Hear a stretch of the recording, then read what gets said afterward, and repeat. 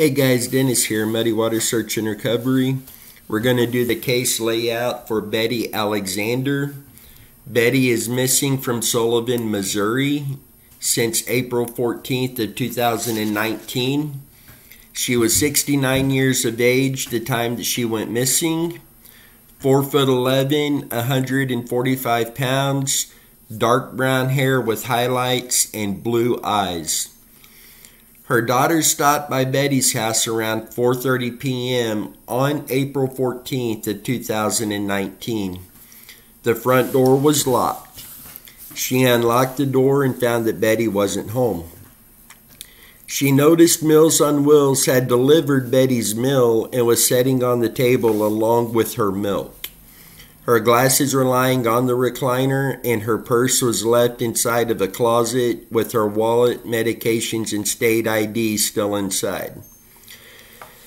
The daughter quickly located the Sullivan Police Department, and the Sullivan Fire Department deployed to help search the neighborhood and search the area. The days and weeks continued to pass with volunteers, search and rescue teams, firefighters, law enforcement, and K9 teams continued to search for Betty, and they have not found anything. The fact that her meal had been delivered is setting on the table along with her milk. That is a pretty obvious sign that she may have stepped out, but she didn't plan on being out long. Um, just, um, and this is all I know, what I've read on this case at the moment. But to me, a couple things stand out. Obviously, there's a chance that she had stepped out, the door was locked, she went to go to a neighbor's or somebody, and she could have gotten she could have fell, got hurt, got lost, not been found. Um, foul play, obviously. Somebody could have taken her.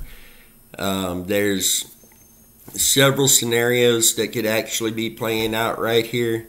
And as we dig more into this and we're able to piece more together, we will keep you updated. If you have any information, please contact the Sullivan Police Department at 573-468-8001 or contact John Mackey. He's the private investigator on this case at 888-511-0498. And I believe that I will try to get in contact with him and discuss this case.